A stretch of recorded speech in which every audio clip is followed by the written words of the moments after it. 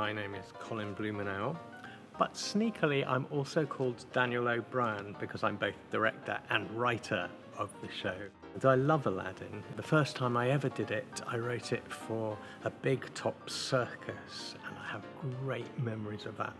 My name is Twankey, Widow Twankey. Contrary to the uh, title of the show, I am the female lead and uh, star.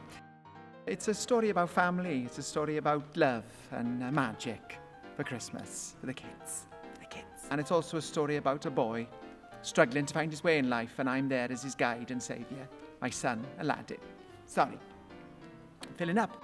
My name is Aisha, and I am very excited to be playing Wishy Washy. Wishy Washy is going to be very fun and lovable. She's everyone's best mate, and she just wants to make sure everyone has a good time, so I'm very, very excited about that. My name is uh, Richard Elis, and I'm playing the genie. Yes, nice to be out, really.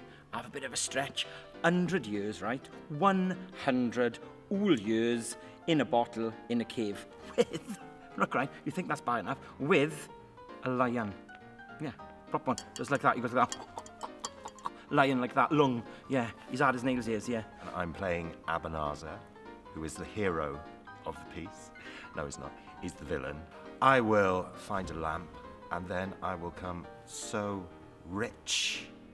I'll be the richest man in the whole of the world. First, I've got to find this person called Aladdin, and then it's off to find the treasure. If you ever do want to kind of put a genie into some kind of a lock thing, a bottle of work, uh, I wouldn't use a box, a bit square. Sometimes you get a bit cramped in it, but anything round is nice, like the lamp, like that. So my name's Nickolia, and I actually trained up here um, at the Royal Welsh College for three years uh, in Cardiff, and I play Aladdin. Um, a bit cheeky, a bit rebellious, you know.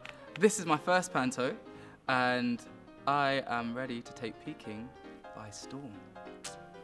You could probably do it if you had like a coconut, if you took the top off it and then stuck it back on. Anything round like that will work. We love the pantomime here. It's the highlight of the year. Kids come out smiling, singing the songs. There's giggles for the adults as well as the kids. And we just love it and we cannot wait for it to start.